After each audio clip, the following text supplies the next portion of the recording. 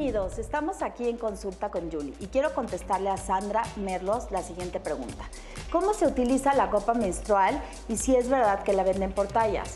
Sí existen tallas, está la chica y está la grande, generalmente son dos, para mujeres que no han tenido hijos y para mujeres que ya han tenido hijos.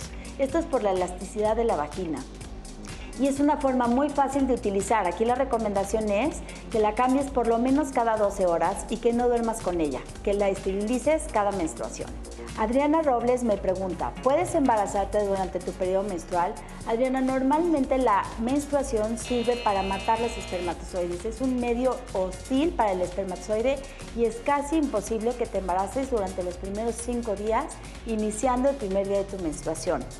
Y Katia Alba me dice, ¿se pueden usar panty protectores durante todo el mes? Sí, Katia, los puedes utilizar sin ningún problema. Recuerda que la calidad del panty protector es muy importante para que no te cause una dermatitis. Rosalía Bravo me dice, ¿se tiene mayor higiene íntima si me depilo totalmente el área de bikini? Mira, te voy a ser 100% honesta. Puedes depilarte o no, esto es una cuestión meramente estética, porque igualmente puedes tener la higiene. Lo que siempre hay que tener en cuenta es que este lavado o esta higiene tiene que ser de adelante hacia atrás y siempre debe de ser diario.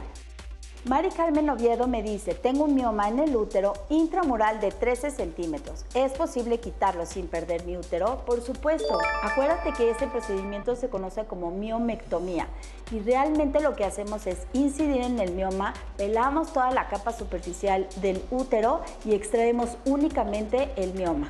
Los miomas son tumores benignos y no sabemos por qué se forman, pero sí se pueden quitar. Muchísimas gracias. Esto es Consulta con la doctora Yuli.